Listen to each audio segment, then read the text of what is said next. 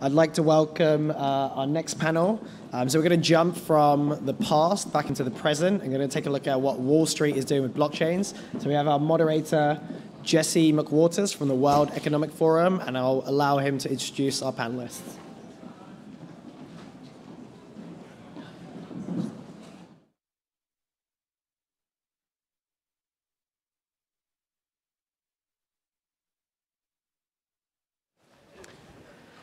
Great.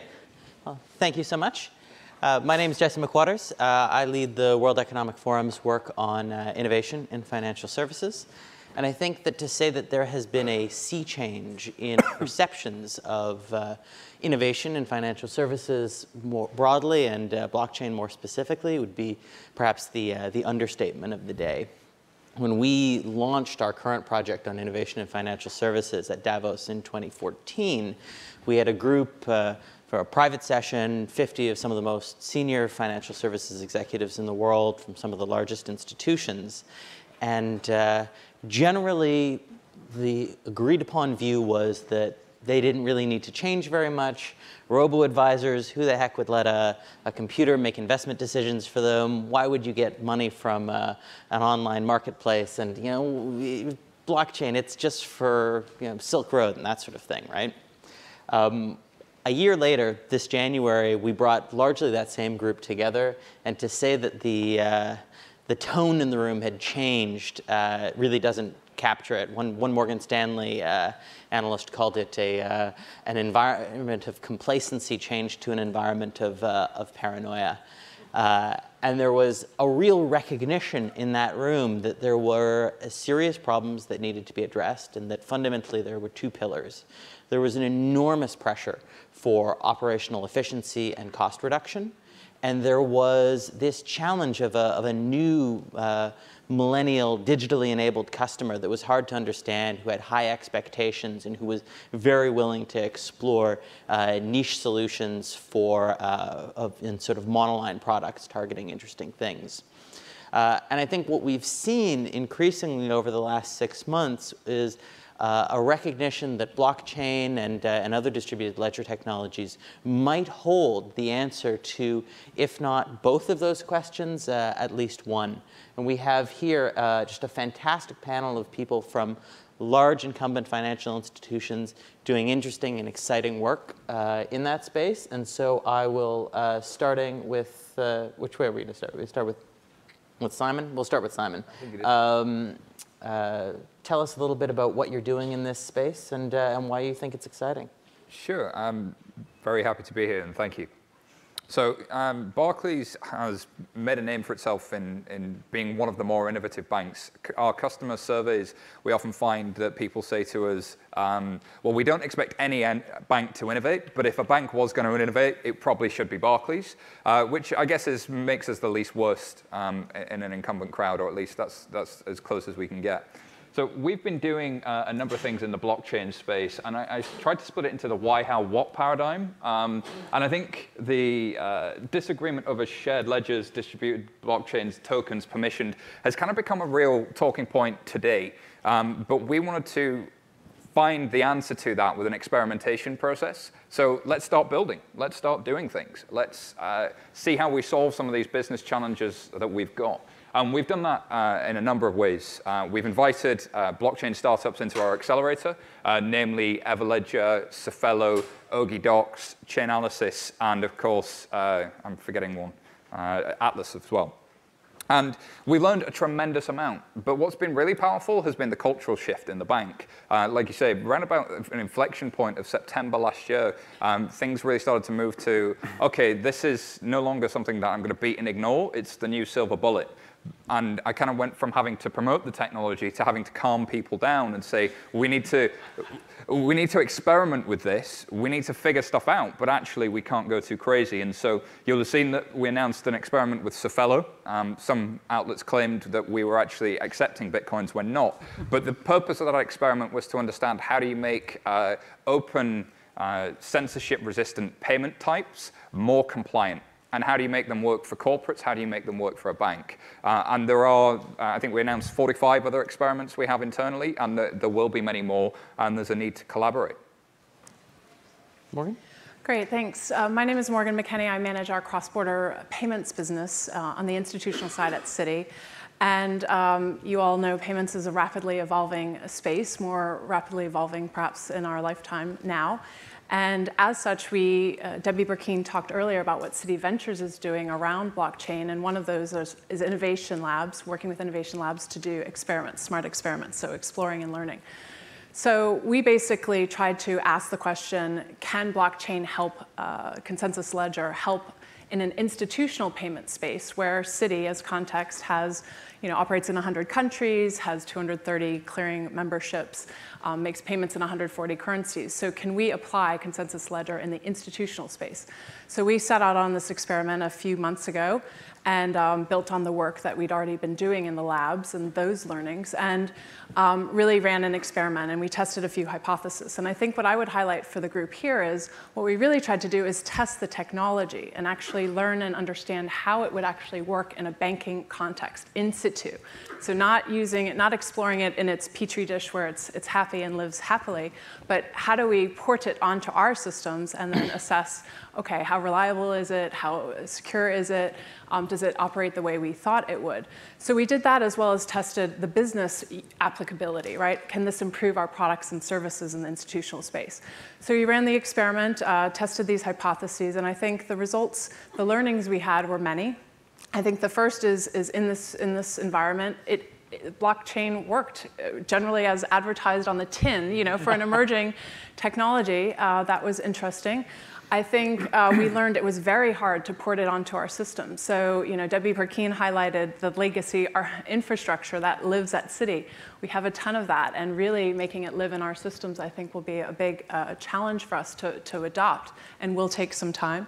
I think um, the last point is it doesn't address the end-to-end, right? The last mile problem that you have, uh, unless it's really a digital currency at the end versus a fiat currency. So, um, you know, it can't solve the world's problems immediately in that context. But um, a lot of promising learning, I'd say, from the experiment.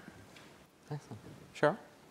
Hi, I work for um, BNY Mellon, which is the largest custodian bank, and um, we also have a Treasury Services large cash um, correspondent banking business, and that's the business that I'm in.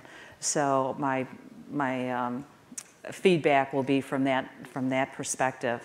So um, as Morgan said, being in the payments business, you know, many of the first um, use cases that were thrown out there is all about the uh, cross-border initiatives and, and how uh, blockchain can be applied so that, you know, global payments will happen instantaneously to every country there is out there.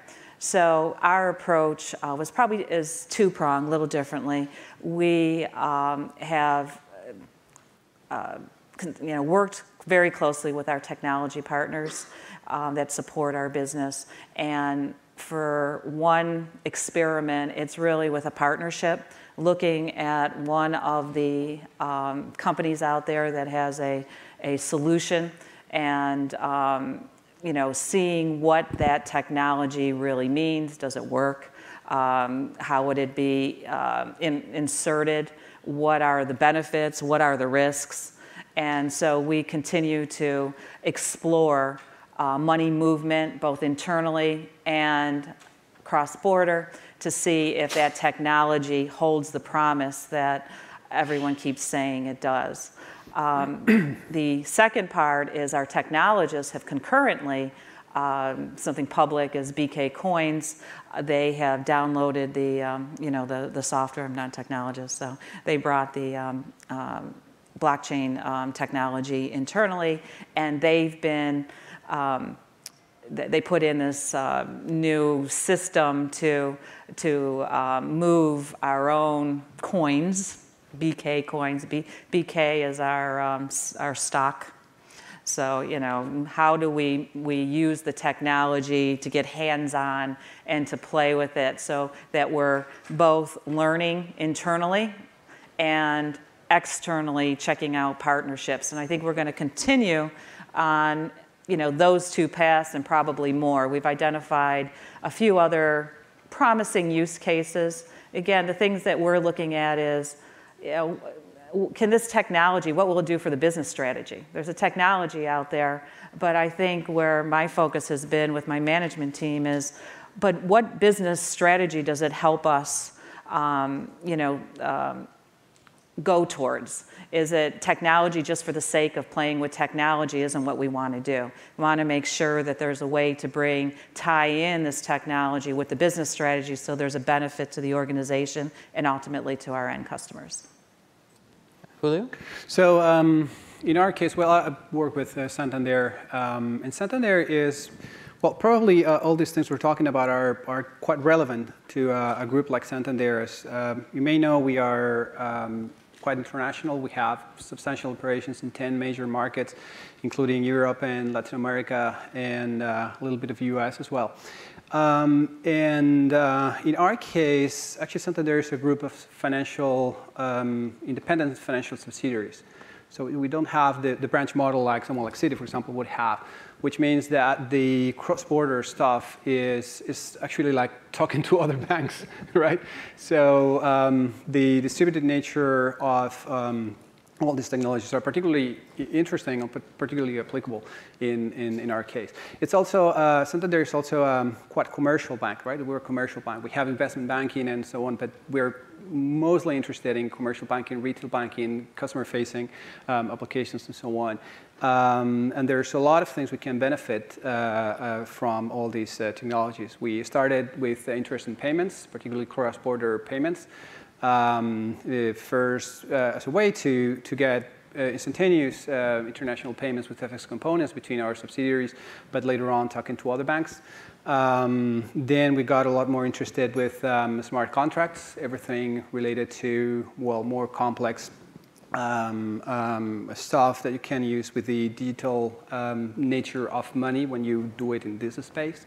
Um, things like, um, I don't know, more complex trade finance transactions when you can have like sensors uh, measuring, uh, you know, accelerometers or humidity factors, something like that in Internet of Things kind of stuff that can, use, can be used as um, smart oracles, for example, and embed that into the smart transactions. Uh, this, this kind of things are, are quite interesting because we think we can, uh, I mean, they, they, can reshape a lot of the, um, um, the, the, uh, the, contracts and the, the, the, stuff that we are doing today. Um, also, we are, we are, we're talking a lot to other banks, and this is, a, a, I, think, um, I think this is something that is changing in the industry. Um, as, as, Simon was saying before, I think the tipping point was, was about Sibos last year. I remember before the summer getting in trouble with our communications department in the bank because I did something and some, so got to the press something uh-huh. that we were seeing, looking at anyway, my name, Santander, and Bitcoin appeared in the same sentence. and Not a good thing. Uh, I got, uh, uh, in Spanish we call uh, our years pool. -huh. And uh, in September, October, actually in, in Sibos, everything was, I mean, all the bankers were there, all the startups were there, and everybody was talking a lot about collaboration. And then banks started to take this a lot more seriously. The startups, particularly the Bitcoin startups, starting talking less about uh, displacing the banks and redefining money and so on. And they started to talk more about how to use the distributed nature of the ledger and the digital um, aspects of money to, to actually help the banks and work together to transform the financial industry. And here we are now where you know, even the smallest bank would have a blockchain lab, either secret or publicly announced. Fantastic. So I think there's some, some really interesting stuff going on here. One of the things that I noticed that I think runs the gamut across all of your descriptions is this very scientific language of, uh, of experimentation, often, often melded with, uh, with collaboration with a, with a variety of, uh, of interesting fintech firms. I'm, I'm curious about what you feel your key learnings have been about what, a success, what are the elements of a successful experiment. How do you make sure that you get what you need out of an experiment, both in terms of uh, technological learnings as well as uh, business and process related? Sure. Um, Jump if, in. If I could say that. Um, so the, the team I'm actually now uh, leading in Barclays is not a, a, blockchain dev team, it's an experimentation team. Uh, and it is primarily, there is a challenge, how do we solve it? And, and experimentation um, really is about having a hypothesis. If we do this, then this will happen.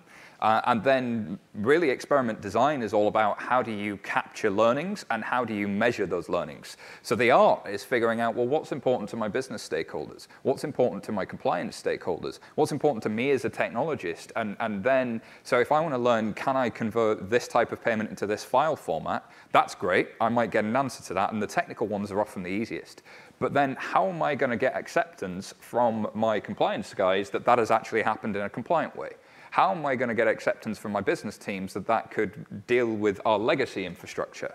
And so I think experiment design is about finding those high value uh, input pieces and, and, and information pieces that allow you to make a decision. If you're looking at your investment for 2016, 2017, you want to know that I'm going to split. I often say that banks, you don't do anything without starting at $5 million to do a major program, right? So if you're going to make that kind of investment, you want some more certainty that this thing is actually going to work before you start throwing real money at it. So the experimentation really is designed to say, well, what are the hits and what are the misses?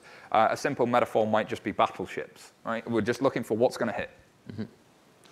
What I would add to that is um, there's a whole innovation language, right, that our innovation lab have that help with the experiment. That isn't, you know, what as a business owner you wouldn't necessarily come in with that. So asking what if, what wows, what works, what you know, what is. So that kind of question, and also experimentation is a very different mindset than product solutioning, right? Banks are good at creating products. They figure out what they need to put here and here and here. But this is really about fast learning. So picking the right use cases, assessing your hypotheses. In our experiment, it was that you can go point to point and eliminate hops and cost, right? That's a hypothesis because we were trying to reduce speed and reduce cost. Um, and so you test your hypotheses and then, and then you learn quickly and share those results and then develop your next experiment.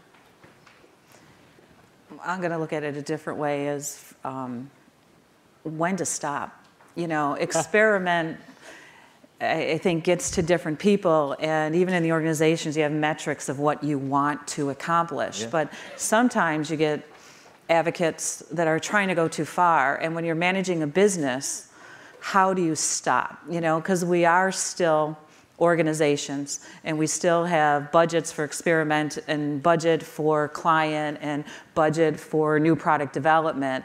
When do you realize it's gone too far because someone can't let go? Mm-hmm. and um, i've seen that too many times where it's like it becomes their pet project. Even though it's metrics driven and you know we have the flow charts and every little administrative uh, thing you need it still becomes i know i'm going to make it. I know i'm going to make it and you know, I think we as an organization, all organizations need to go, okay, but we have to be critical and sometimes just pull the plug and start on something else. That's so true. If I can briefly follow that before, before Julio speaks, it's that uh, I think there is a meme at the moment which has put a blockchain on it. yeah. and, and I can almost imagine Beyonce, you know, if you like it, you should have put a blockchain on it. Um, there's a, a need to be really critical about, well, what is this stuff actually good at? Um, and in the design space, you know, why wouldn't I use a SQL server? Um, why wouldn't I use a centralized database? And if you can't answer that in 30 seconds, then it's not a good use case. So actually, the way we do it is um, we, uh, we, we try to organize in a way that there's the visionaries and the freaks, and then there's the business people that actually the ones that are in charge of P&L, and hopefully they pay our salaries. so it's a good people to, you know, to have on your team or something. So very quickly and very early in the process, we involve them. So uh, you know, my my background, for example, I started as a chip designer. So I started as a very freaky person, and very quickly you have to talk to someone uh, from the business that will when I mean from the business, I'm talking about a trade finance specialist. I'm talking about someone in the, in the, in the, in the back office doing settlement of securities, or from someone from payments that eh, has been tasked with trying to make, in, to make our, our, our payment systems you know, faster and more reliable. So what we do is very early on, we involve them. And uh, it is a market economy. so we come up with ideas, we, we, we test them, we make sure that they are not stupid and they work and, and that kind of thing, and they have to buy it. And they have to, to actually fund it as well. So we can fund it like, you know, they, they will fund part and we will fund part or something like that. But unless there is that collaboration, there's some skin in the game for those business leaders, Uh, we, we, just don't do it. We, we, don't, we shouldn't have the, the, the right to impose these things. And, uh, and, and these have to be useful for them, so they have to be free to make the decision to use it. Mm -hmm. We are very practical people. So if there's someone buying it, we do it. Otherwise, yeah. we, we would say. Great. So you're, you're working on all this experimentation. The, you're learning that, that, that it works like it says on the tin, as, as, as Morgan put it. But seeing that it can do is different than figuring out the business application, how you want to use it. And I think that one of the, the more interesting questions in this space is that there are opportunities to take areas where there has previously been replication of activity, not necessarily value adding in nature, and to mutualize those. But that comes obviously with, um, with challenges and, uh, and with potentially winners and losers. How are you thinking about how to take the capabilities that you're learning about and how to use them? And where are you thinking about that being uh, a broader activity reaching across other players within the financial uh, ecosystem? So I've had the good fortune of being in conversations with pretty much every blue chip um, and a whole bunch of startups on this topic because I think at the exact level it's it's the new black. Um, but at the same time, um, I, I, see an opportunity spectrum as almost being like kind of like a curve. I can imagine a curve being, you know, you've got your investment banking operations here at the top, where, which are very expensive. You know, one client is very, very valuable. In the middle, I've kind of got my corporate banking and wealth and uh, sort of uh, retail client base. And then there's this long tail that I just can't address, this long tail of kind of the unbanked. And the reason I can't address them is because my capital cost of capital up here has increased. So I don't want to attract more deposits because actually I'm getting less interest than the cost of having that capital on my balance sheet. So how do I see this as an opportunity? Yes, I need to um, improve my ROE. That will help. So let's take cost out. And I think Blythe and the guys on a panel earlier did a pretty good job of talking around the efficiencies of shared ledgers. Um, but actually, we've also talked about the legacy infrastructure. Am I going to go rip out all of that legacy infrastructure and start sharing it with other banks anytime soon? I think that's a five to 10 year like dream, but are we really going to get there anytime soon? No. So I've got to start looking at what opportunities do I have? And, and I split those broadly into three. What approaching regulation do I have? Uh, and where might the design space of blockchain-based technologies and or smart contracts help with that? Because there's going to be an internal drive to get that done. What cost efficiencies can I take out without open heart surgery uh, on, on my legacy infrastructure? And then what are my opportunities? Barclays has a very large presence in Africa, for example. Um, I cannot go and build a branch infrastructure in Africa. It's just not economic. But actually, it would be really nice to be able to acquire somebody where the cost of capital isn't an issue uh, and where I could put products around that. Um, if there was some other sort of tokenized asset or tokenized value, that would be really, really powerful. So I, I see that opportunity side of it being really sort of under-articulated, but the whole spectrum is an area of opportunity, and, and so I look at that as a portfolio everything from you know sort of um, yes post trade over here, but also um, yes you, you sort of you trade finance in the middle. Um, but then I look at it from all of my client base in utilities, in government, in GDO, and then also what can I do around uh, you know acquiring new customers. What I would maybe add to that, I think the, the Citi Ventures approach has been multi-pronged strategy, right? You have to work many different channels to, um, and many of them involve external partners, right? Whether it's investing, um, whether you partner with something to bring something to fruition, which I think, you know, what my learning in this specific experiment is, you know, for banks to do everything on their own, it will be very, very challenging. And I think external partners will be very important to the equation, both uh, as providers of services and then obviously, you know, potentially collaboration down, you know, in the future because blockchain is a network technology. So you need an ecosystem to really fully realize the benefits. And we realize we can't be, you know, everything to everyone at every time. So what we've been focusing on is what is our line of business, because we're very focused on the line of business. Who are our customers today? Who do we want our customers to be? What's our segment strategy? And then what for us, it's corporate cash management. And not a lot of time, more time's been spent on retail and on um, securities. So we've been having fun with a small group of people, you know, brainstorming, because, you know, we've learned at all these events and talking to all these vendors, we've had the, um, you know, the benefit of extremely smart people opening our eyes to different things but not everyone's had that same baseline. So we found out sometimes going to customers and wanting to whiteboard, you know, could you explain again what Bitcoin is? And it just wasted time. So we're sitting there going, let's do some um, aspirational based on what we've learned and then go to certain customers because we saw a benefit in, you know, in cash management and, and liquidity management and trade processing and painted the picture and now's the time to go and validate because you know, to be agile, sometimes you have more information than others, and we want to go a little quicker and then get ideas, especially from um, the vendors and you know the, the fintech companies. Uh, they bring just a different view with our institutional knowledge um, that we have um, from our staff and try to merge so that we are are really looking, and we think we've identified quite a few unique um, um, uh, use cases where we might be able to bring some securities and cash processing together that's traditionally been separate. So where's those those handoffs and those breaks that this technology may give us an opportunity the previous technologies haven't? I don't know if I answered.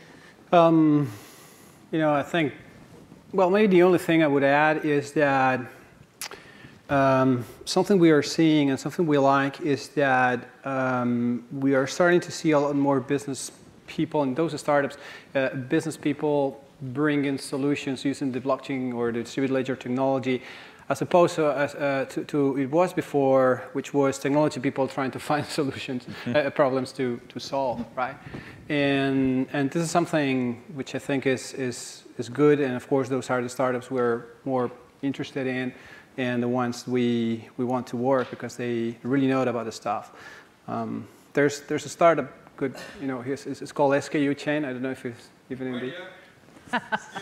so uh, Skuchain is, is, uh, is, I mean, they, they, they focus on inventory management and, and trade finance solutions. Well, the guy, that man over there, he actually was the captain of freight ships over the ocean just going there. So talk about that pain point. I mean, he's suffered the pain, right? he's, he's bringing a solution to, to, to those things. That's a really good point I'd like to briefly build on is, is what I've found in um, our Barclays Accelerated cohorts that get the most traction in industry. Uh, typically, you find somebody who knows the pain points. So uh, exactly. Leanne Kemp, who's the founder of Everledger.io, worked in insurance for 25 years and was then able to really articulate why a censorship-resistant database is a great place to put a proof of existence of a diamond that isn't a blood diamond. Um, there's a chap sitting downstairs at our stand uh, from Ogie Docs. Uh, and Gadi uh, has worked in trade finance for 12 years, has a number of uh, client relationships already, and felt the pain day to day in trade finance and knew that he wanted to solve one specific problem around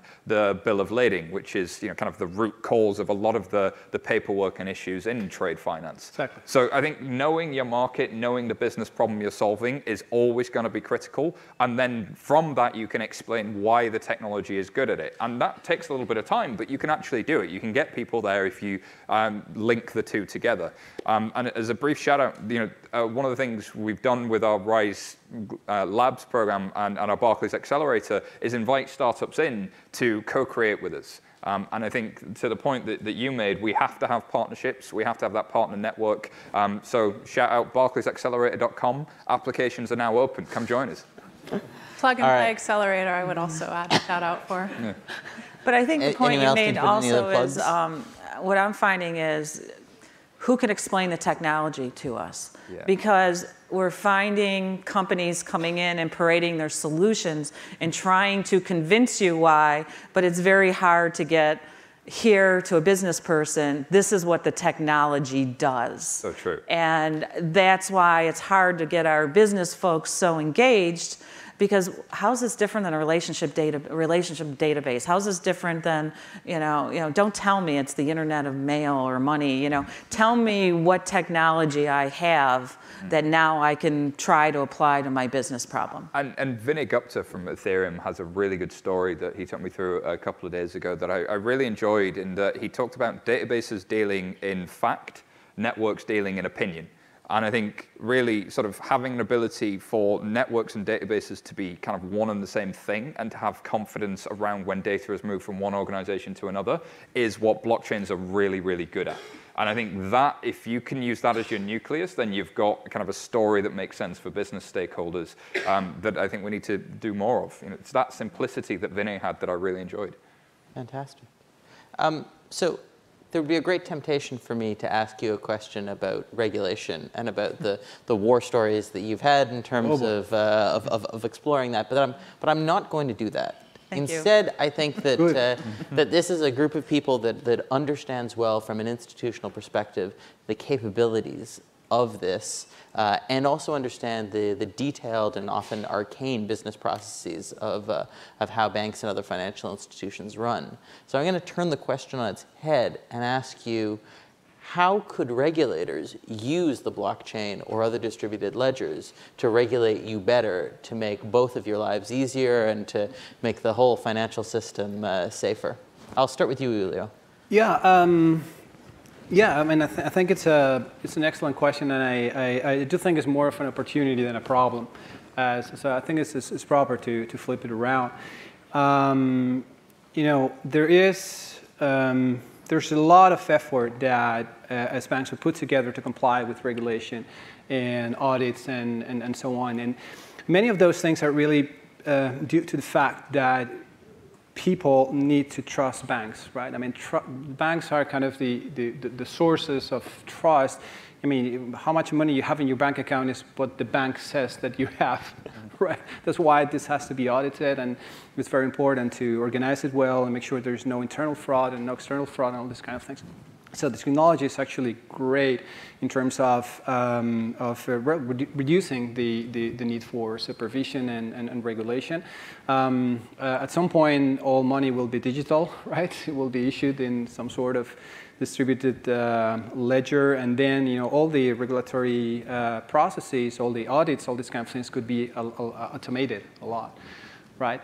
And um, so I, I, do think it is much more of an opportunity rather than a, than a problem. Even though the, the interim solutions that we'll, we'll have to pilot and we'll have to work with uh, will still uh, respect the role they still leverage the role of banks as gateways to the financial system, right? Things like, for example, Ripple.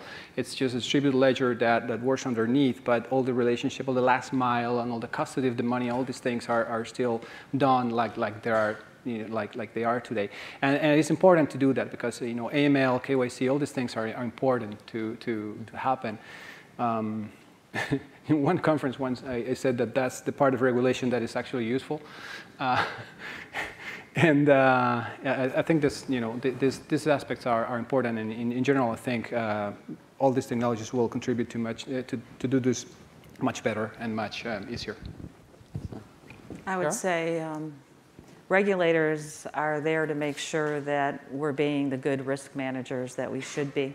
And to manage risk is to look at a transaction and make sure that there's transparency and you know, the recording and, and the information's correct. And, and the thought of what a um, blockchain, an open distributed ledger, a database structure can give you, and the different kind of reporting you could then, um, you know, produce from those data structures to have to look at general trends, not individual transactions, to really look at the level of risk. I think the regulators maybe aren't looking because they stop at each organization.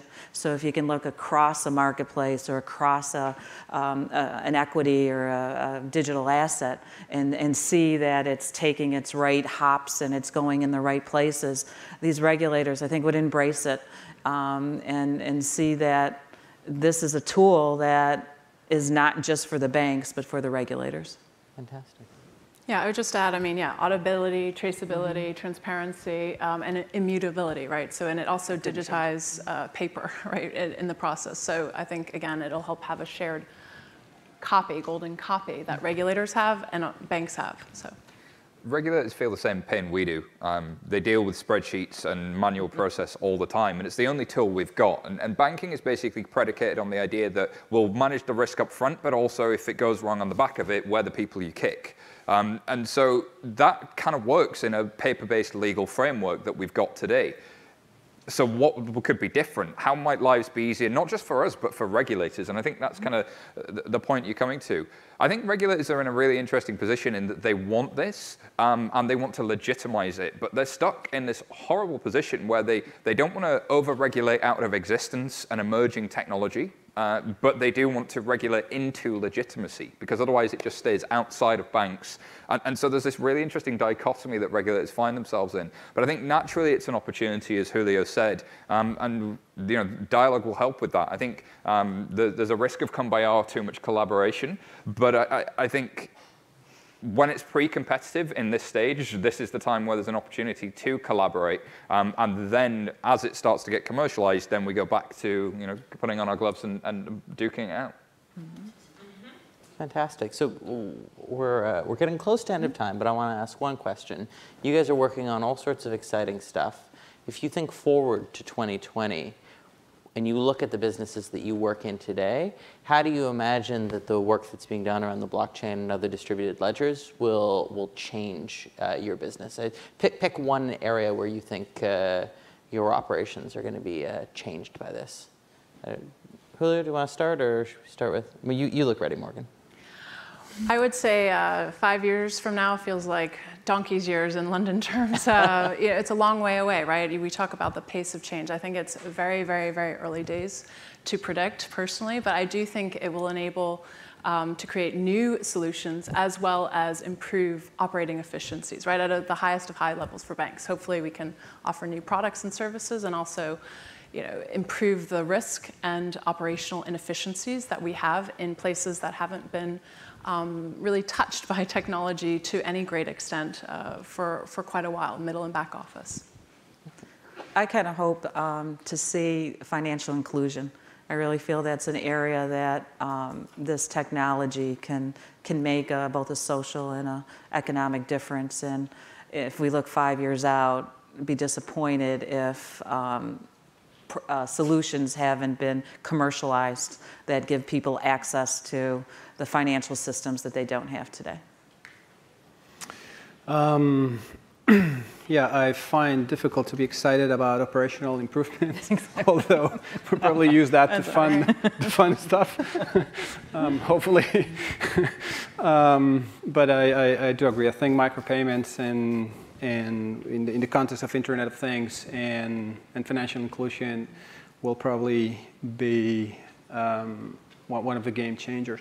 I think one of the biggest, I mean, the, the whole thing will, will change a lot when at some point central banks decide to issue currency on the on, on distributed ledgers and we, we cease to use underlying technology keeping using the fiat currency that we have today. Like instead of using avatars, digital avatars of the physical money, actually making money digital. Uh, it's just that it's impossible to predict when that is going to happen. But yeah, when that happens, that changes everything, including the very nature of banks. The, the central banks are tremendously interested in doing that. The question isn't why or what, it's how. Um, and I think really those last mile implementation problems can be solved with a little bit of collaboration, which is hence why you hear a lot of that term. Um, uh, uh, for me personally, I think financial inclusion is a big one, but there's, you can't include people financially without identifying them first, which is why I think ID 2020 is a really solid initiative, um, and we should look to collaborate around things like that. You're right. Um, and uh, yes, we'll see. I mean, I often say that uh, in a bank, it takes two to three years to commercialize anything, no matter how much political support you've got, even if it's regulation. It, it's going to take some time for us to really surface a lot of these things. So in five years, I think we'll start to see some of those operational efficiencies things really cooking and maybe the beginnings of some opportunity-based financial inclusion products that uh, you know, really don't involve, that change the nature of what deposit taking is for a bank. Great. So from the audience, we've gotten a number of questions asking basically what type of blockchain technology are you using and why. We're almost out of time. Uh, so we maybe we won't address the why. Do you guys have uh, have favorite protocols that you're uh, dealing with, or do we want to keep that uh, under wraps for so the moment? I just want to make one brief point, which is I think it's an interesting design space at the moment, but there are a lot of people saying we're the whole stack, mm -hmm. and I'm like, no, you're not don't try and own all of it, uh, would be my advice to the startups. Because if, if I think of this as a design space, I think that people have got bits of it, and there are areas where some of them are really, really good here, but they're trying to do all this. And I'm like, no, just focus. Be good at that, and you'll be a billion dollar company. So uh, it, that's what I'm seeing more so than anything. There's no religious, I think, devotion to any one particular stack at the moment. It's, it's too early to say. Um, but I think the real um, power of this tech is, is around smart contracts uh, and once they come around. Anyone, anyone else in the panel have religion? I just, We are I just won't say anything because um, it's not even protocols, it's the firm. And, you know, you mention the company and you think the protocol is good, next thing you know, we'll be in the paper like you were, you know, that you mentioned this company with this firm. Come on. So I think until, you know, we, um, at a point then of actually commercializing something, it's not worth Yeah, and Citi has been testing a range of technologies, I would say, and I fully agree with Simon's comments on the stack, right, in terms of the space, and, and Blythe said it earlier as well, in terms of there's many parts of the stack, and they're all developing, uh, you know, very quickly. So. So I think this has been a fantastic discussion. I, if I can, I can be so bold as to uh, sort of roll up what I think are some of the most interesting points, at least for me, that I've, that I've heard. I think that we, we've heard across the panel that this is a, a learning process, and it is one predicated on collaboration uh, with a whole bunch of different uh, entities, be those fintech players, regulators, and competitors, and traditional collaborators. Uh, second, I think that we've, we've heard that there's a, a need to closely measure what we're doing as institutions uh, in this space, and as, as Cheryl put well, to know when to, when to make the cut.